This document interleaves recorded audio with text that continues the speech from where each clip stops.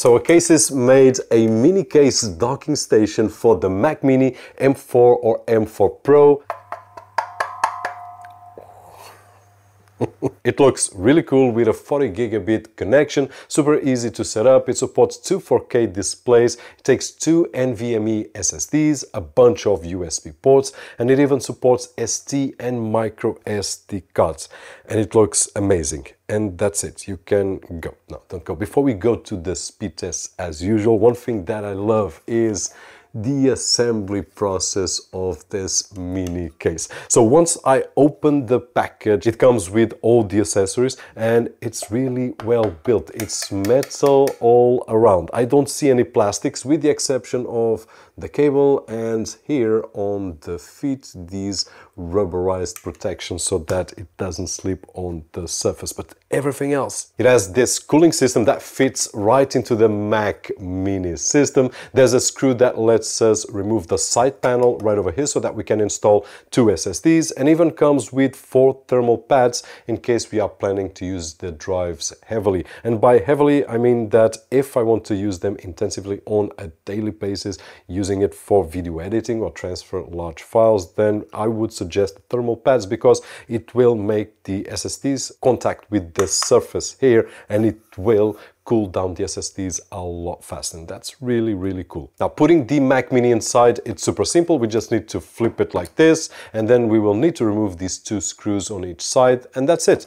But before sliding my Mac Mini I had to check inside because I don't want to scratch my Mac Mini and I did realize that it's fine because it has this foam padding exactly where the Mac Mini will fit. So everything is perfect right over here. The internal fit is really well designed. So after sliding the Mac Mini, we just need to put the fit back on, screw it down and connect this included Thunderbolt cable between the dock and the Mac Mini.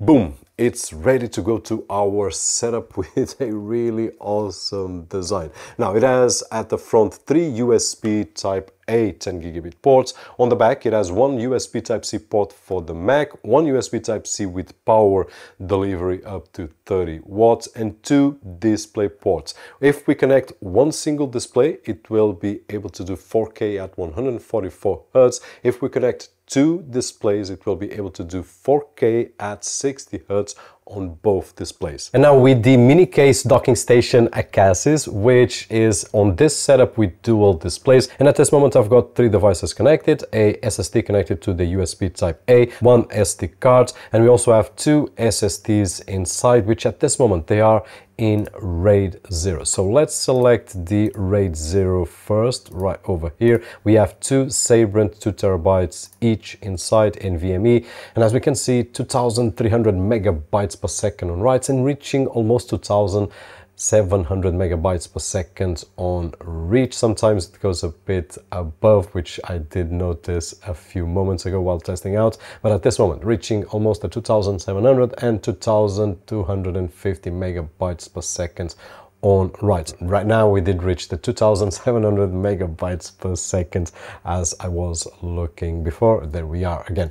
If we are going to use the SSDs individually, just have in mind that we have a little bit lower speeds on the read side. On the write side here, at least on disk speed, will work on the same speed more or less. Nonetheless, plenty of speed for those that edit videos or that transfer huge files to your Mac Mini. Now let's select the Mac Mini iThru, which is the external SSD connected via USB type A right over here with 10 gigabit of bandwidth. And as we can see, we are reaching up of 1600 megabytes per second, so more than 10 gigabit. And right over here, reaching the limit, which is more or less 950 megabytes per second on the external on the USB type A. Now let's stop this test and let's go to the SD card, which is the last one here. So let's press, and this will depend on the SD card that we will be using. But as we can see, it will ramp up up to 500, 600 megabytes per second. Then it will lower down to the maximum of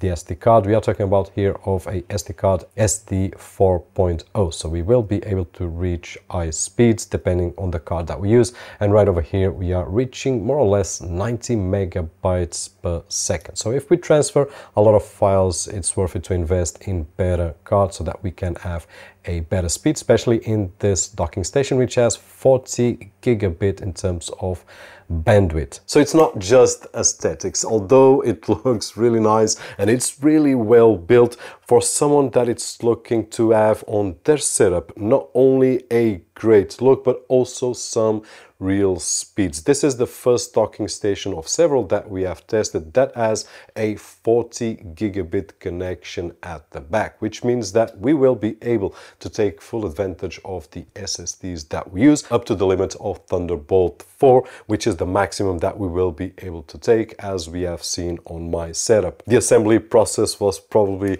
my favorite. As you guys know, I love to remove screws and tear things apart and then putting them together. And that process was really, really easy, really fast. And if you are looking to give a different look to your Mac Mini M4 or M4 Pro and put it on your desk and make it look like a miniature Mac Pro. This is a awesome design. Actually, I think it would be a good idea if Apple would do something like this. But I believe that if they do, it will cost about four or five times more than this one costs. I will leave the link down below so that you can check it out. Hopefully you've enjoyed this video and if you did so, don't forget the usual thumbs up right over there, which is really appreciated on this side of the screen. My name is Roberto Jorge, and as always, I'll see you on the next one.